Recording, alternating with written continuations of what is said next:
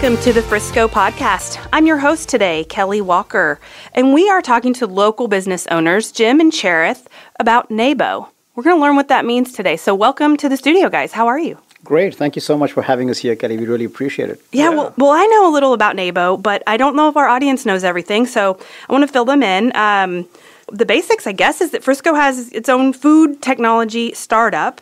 So tell us what that means, what it's all about. Absolutely. Uh, Kelly, thanks uh, for having us here. We, we love being here at Lifestyle Frisco's office. So, well, the first thing is we are a delivery app. And Nabo means neighbor in Danish. So, true to the word, we're all about neighbors. We're about building stronger communities, building stronger neighborhoods. That's what we're about. Now, if you take yourself uh, back to the start of the pandemic, one of the things that we actually uh, saw were people going out of their way to help each other. You know, I, I personally uh, reached out to folks who were quite elderly in our neighborhood and said, "Hey, do you guys want something?" And it was not just not me. Everybody was reaching out to people mm-hmm. that, "Hey, how can we help you?" Yes. Think about the pandemic. Think about the snowstorm. And these are not one-off events. We know that neighbors want to help each other, but there's just nothing out there. When we actually looked at the market, uh, there are a lot of apps, delivery apps, but they're not focused towards communities. They're all focused towards uh, being a gig economy, mm-hmm. right? You order through the app, somebody comes and delivers at your door. They're not transparent. The other day, in fact, I'll, I'll quote you a funny incident. Uh, my wife and I were talking, and my wife said, Hey, uh, can you order something that's five dollars or more from Kroger? And I said, why? She said, I want to get the bill above thirty-five dollars, so we don't pay a delivery fee. fee. And I was like, yeah it's crazy, you know. So so we got talking together and we said, um, Cherith and I, we said we need to bridge this gap. We need to bridge the gap and get something in the market that's for neighbors, for communities, and that's how the genesis of Nabo began by trying to build a delivery app that can bridge neighbors who are at stores buying something for them, uh, themselves and neighbors who are actually wanting something. Who are at so home that, yeah. who are at home. Needing help. Absolutely. We wanted to bridge that gap and that's the genesis of neighbor. Which is such the neighborly way. Exactly. And unfortunately tend to lose that over time with with schedules and just distance. And i don't know there's something about the loss of you know that community neighbor feel sometimes. So I love the genesis of this, and that you're you're no you're bringing that back, like the whole "Can I borrow a cup of sugar?" It's "Can you grab me one at the store?" Right? You know, we, we grew up with that. Hey, uh, knock the door and say, "I'm out of sugar. Uh, I need to have my cup of tea. Can I have sugar?" Yeah, we want to get that back. Yes, I love it. So you you mentioned uh, fees and delivery fees, but I want to know kind of other things about what makes Nabo different from other types of delivery app, delivery apps that can help people out. Absolutely, Kelly. So, so you know what happened originally when James first reached out to me and said, "Hey, buddy, let's build a delivery app," and I was like, "There's so many out there in the market already. I don't want to really focus on building a delivery app." another one. Yeah, another yeah. one. What's the point? Then he was like, "No, no, no, no! You got to hear me out. Let's let's get together on a call one day, and I'll explain my concept." Uh, Jim and I go uh, uh, way back. We've known each other for a, a, few years. Our kids play together. Okay. So we got together. We started talking, and then he finally explained it to me, and then I got it. And then we quickly nailed it down to our mission to make this app more neighborly focused. So our mission is to bring neighbors together, mm-hmm. make neighborhoods uh, more neighborly, and that was the premise and we then said, okay, so now how do we bridge that gap and how do we make this successful?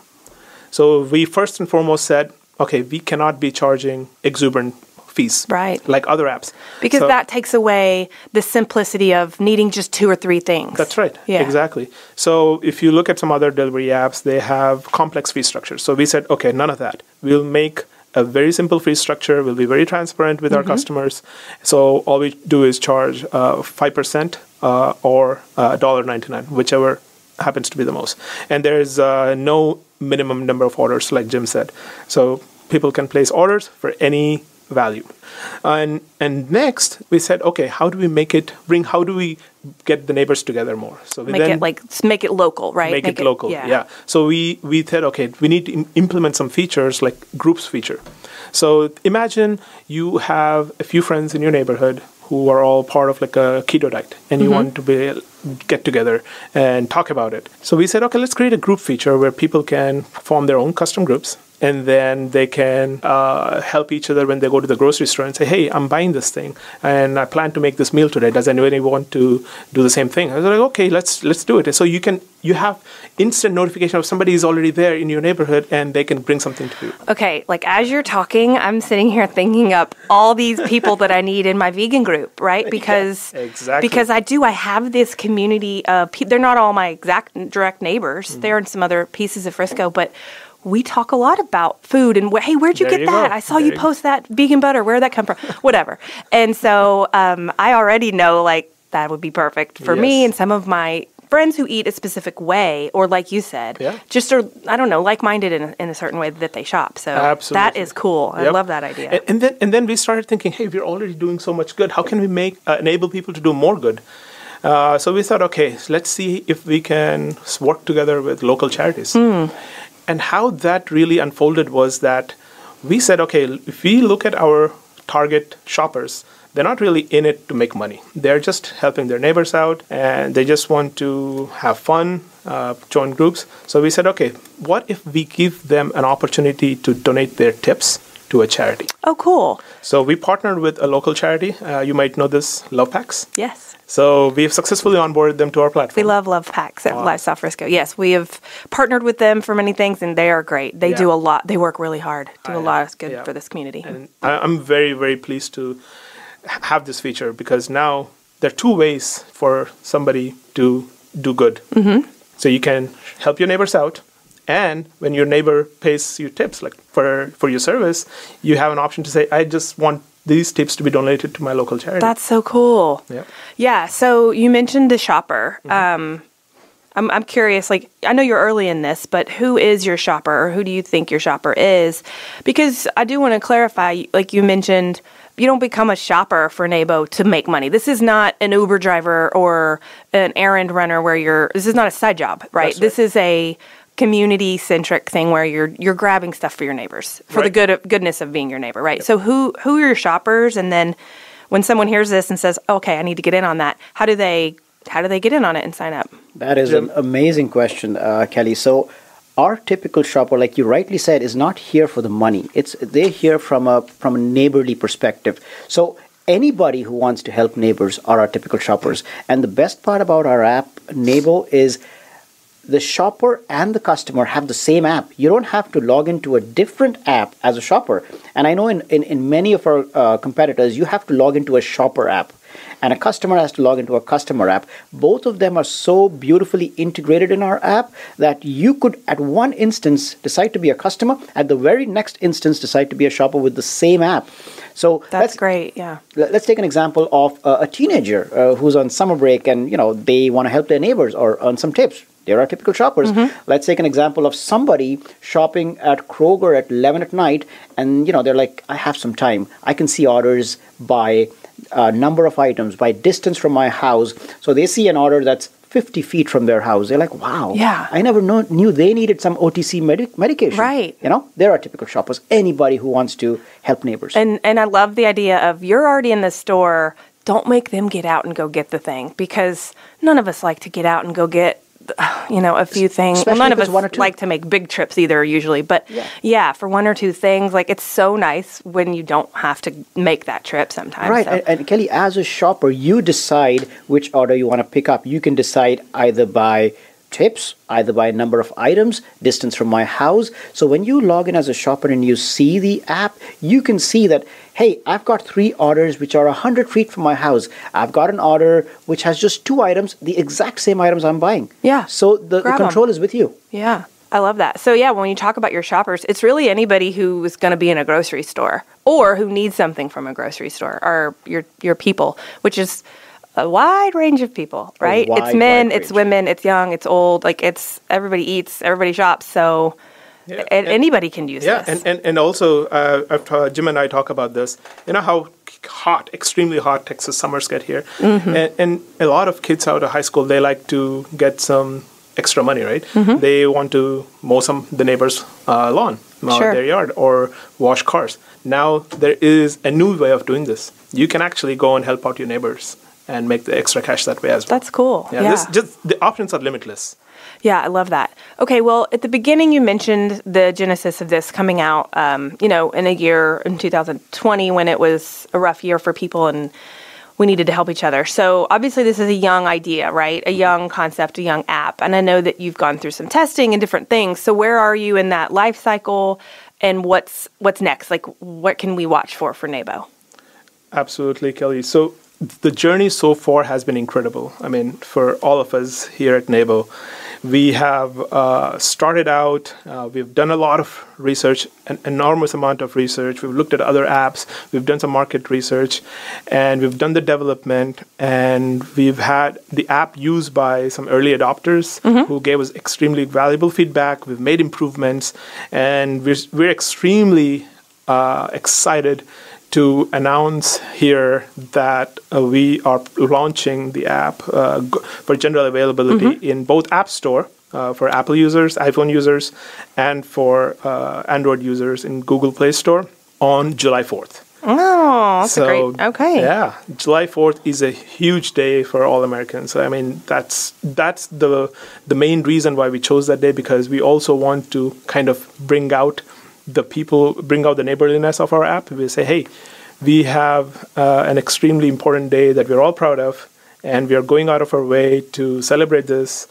Everyone gets together. Everyone comes out into their. Yep, uh, it's uh, it's a community yeah, day. Exactly, for sure. Okay, I love that. It's yeah. easy to remember too. Exactly. For everybody so we're very remember. excited about that, and we can't wait uh, to be uh, to tell you the truth and and it won't stop there really right? Like once we once we launch once we start um, helping uh, the uh, north texas uh, uh or dfw rather we're going to be launching all of all over dfw once we start there and once we have a good customer base mm-hmm. we are going to expand to other cities in texas so major cities. We are thinking Austin, we are thinking Houston, and and so on and so forth. Yeah. And what that means is that we also need to start looking at uh, other big retailers. More stores. More stores. Mm-hmm. Yeah.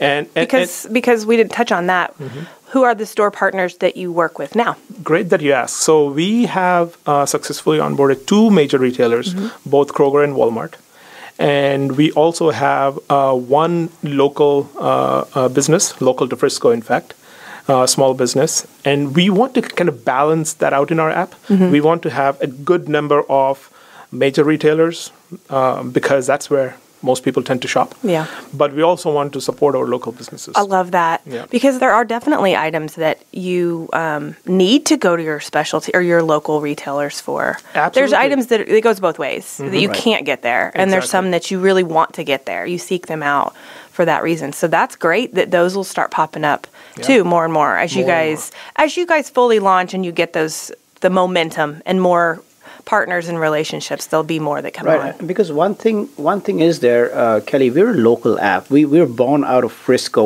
We we want to make sure the community is involved. So these local small businesses, we reached out to them and said, "Hey, here's what we have. Here's how we can help you. Do you want to get onboarded?" You know, so we're reaching out to them actively. You know, uh, local charities, local businesses, mm-hmm. because we're a Frisco-based startup. Yeah, we have to help Frisco first. Love that. Yeah, and, and, and some of these local small businesses that are run by uh, mom and pop sh- shops, like elderly people, they're not too tech savvy, and right. they they don't know how to get started. So we want to help them as much as we can, because uh, and during our research, we found out that other delivery apps uh, they charge a lot of fees to these retailers for their services and and that's where we also want to focus we want to make sure that they're getting their fair cut and not just getting yeah. kind of uh, yeah picked apart yeah. right yeah. yeah. i mean it needs to be it needs to make sense for them it's different for a big box versus the mom and pop mm-hmm. it, exactly. they just don't have the margins and they can't give as much to you know to a uh, supplier. That's right. Um, as, as others can. So I was curious when you talked about um, beta testing, research, and feedback, and you said you got some valuable and made some adjustments. Are there any of those you want to like mention? I'm curious if there was anything cool that you learned. All that is always surprising, right? You oh. don't know what your feedback is going to come back. That's why we do it. You know. So I was curious uh, if there's anything that um, that you learned that you're now proud of as a yeah. great feature. So one of the things that uh, really uh, hit us was as we were partnering with uh, one of the local uh, uh, retailers, uh, local to Frisco, re- we realized that we not only need delivery uh, feature, which we already have, that's our uh, the main concept, but there is a need, clear need for pickup, especially for the small uh, retailers. We then got our uh, dev team together, and then we decided, okay, how can we roll out this pickup feature as fast as possible? Because we needed to show value to this uh, partner, and that was an example of how we got feedback from both our early beta testers, the customers, and also a retailer. The stores. Yeah, yeah. They said this. Most people here, they actually just come to do a pickup. They they're close by. They don't really want to pay uh, any fees. So, so what can you do for us? So yeah, that's and they just don't want to go in the store. they just don't want to go in the store. And they just want to stay in the car and call and then get it delivered. It's so interesting how the pandemic spurred on some of these new behaviors that will continue on. That's right. Yeah. Right? We've now learned that we can do things different a different way out of n- need that we had to, but that because um, technology was able to shift and make you know accommodate those new behaviors Yeah. like they're gonna they're here to stay They we're are. all gonna shop differently from Yeah. now on In fact, there was a study that we uh, remember, James. Uh, uh, we encountered what, what was it like by 2025? we're Oh yeah, have- yeah. So around uh, the study was around seventy percent of all shoppers will shop online by twenty twenty five. That, that is crazy, and that number is 70. amazing. So that's why uh, you know uh, another thing that uh, one of our uh, shoppers said, "Hey, uh, I'm not at a grocery store. What if when are you guys going to support?" Home improvement. Yeah. Oh, yeah. I- so what we decided, you know, and we had this plan already. So we are launching right now with grocery stores. But as a shopper, you're in Michaels, you're at Hobby Lobby, you're at Lowe's, anywhere as a shopper, if you're 7-Eleven, we'll support you. Oh my goodness, that's a whole new world That is. to open up to think about. Yeah, there's days when I make multiple trips to Home Depot, right? because you just you don't know what you need sometimes until you're in the project. My wife makes me do that every time. yeah. yeah, I buy 10 bags of mulch and she's like, I want 11. Yeah. For one bag of mulch? I yes, I know. Believe me. Did she download the app? She did. Well, Yeah. speaking of, so I'm in. I love it. I love the idea, and I'm going to invite friends, and, and we'll tell our um, Lifestyle Frisco readers, obviously, to sign up, and we'll target that July 4th date that everybody can use it. So, are there any other final words, anything we missed that our audience needs to know before we sign off? Well, well, I I think this app really hits a home run. It's it's all about you know helping people, helping neighbors. So if you have that mindset, I would I would really highly uh, you know recommend you go to nabodelivery.com. That's our website. You can learn all about us, our genesis, our idea, our vision, our mission, and then you can also download the app from there. So yeah, just just take that trip. Yeah, and, and uh, uh, on our website, uh, nabodelivery.com, we also have uh, put together some great tutorial videos. Uh, back to your question earlier on uh, about shoppers. So we have videos that explain how a shopper can uh, sign up uh, using our app and then start helping right away. Yeah. Awesome. Now, for those of you who are listening to this episode because it rolled onto your playlist and you haven't seen it, NABO is spelled N A B O.